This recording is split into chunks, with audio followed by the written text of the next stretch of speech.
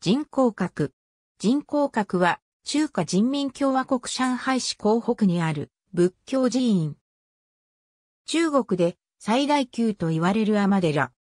人工閣は秋代の万暦28年とされ、与江を造営した秋代の役人、藩誠丹が川に浮かんでいた木彫りの観音像を祀るために建造したのが始まりと伝わる。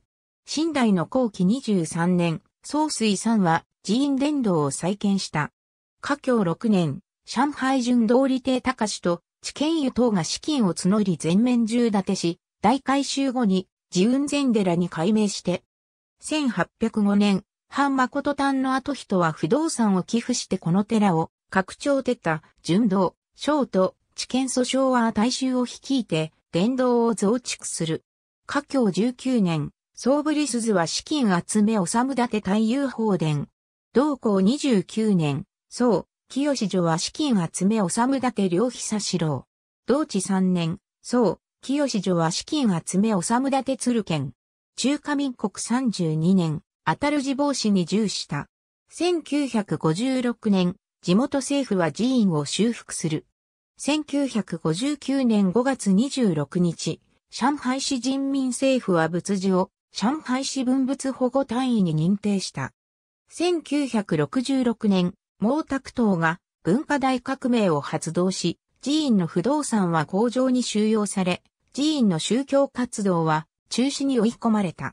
1983年、中華人民共和国国務院は仏寺を漢族地区仏教全国重点寺院に認定した。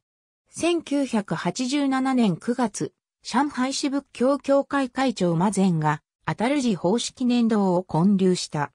1989年9月、上海市仏教協会副会長、ジオサムアンの住職完成奉仕が資金を募り、全面重立てし、民進寺院の風格を回復する。中国仏教協会会長、長木発から南海宝井カダトンド人工観音大資格の額を賜った。